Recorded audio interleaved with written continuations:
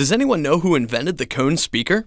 You know who'll know. Tell us, Mr. Audio.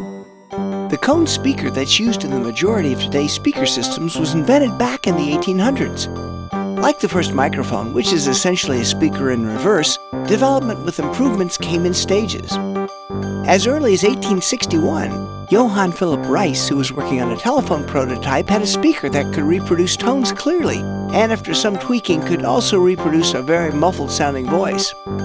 In the 1870s, Thomas Edison, Nikola Tesla, Ernst Siemens, and Alexander Graham Bell were all trying to develop a working loudspeaker that could reproduce a human voice. Bell's speaker used a permanent magnet and an iron diaphragm and was part of the telephone that he was granted a patent for in 1876.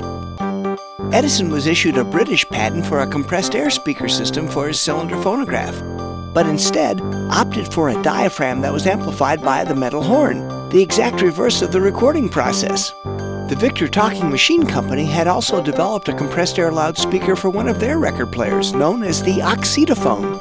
However, since there was no way to control the volume, it was too loud for homes and only used in public venues. Then, in 1898, Sir Oliver Lodge, a British physicist and writer who was working on wireless telegraphy, invented the dynamic moving coil speaker, which is the forerunner of all modern cone speakers. Thanks, Mr. Audio.